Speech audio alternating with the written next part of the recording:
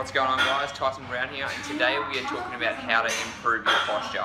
So if you're someone who works in an office desk, you need to be incorporating a lot of face pulls, a lot of back movements into your workout to make sure that we're releasing the pec muscles, we're strengthening the back, we're pulling it up. Because you're going to see a lot of people, they always round over, especially when they're at a computer, so doing exercises like this, it's going to pull that posture back, it's going to help open up the chest and you're going to be feeling a lot better. So this exercise is called the face pull. Now, with the face pull, you want to grab yourself a rope. Usually what you would use is the tricep pull down.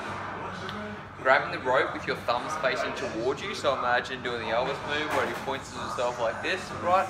Grabbing it around the knobs. Choosing a weight that's not too heavy. You want to be able to do about 12 to 15 reps.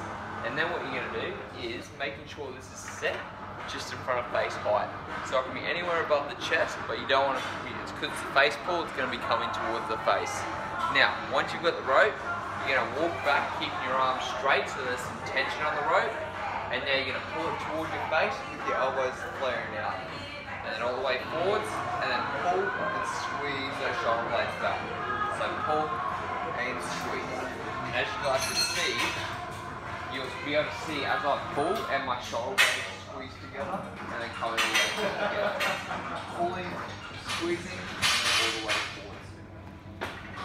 Now, like I said, you don't want to go really heavy with this exercise. This is more endurance. So about 12 to 15 reps of three to five sets.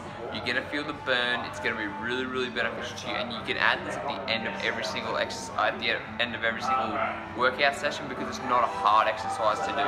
So if you need to improve your posture, face pulls are one exercise I definitely recommend you put into your workout routine. Till next time, speak to you guys then.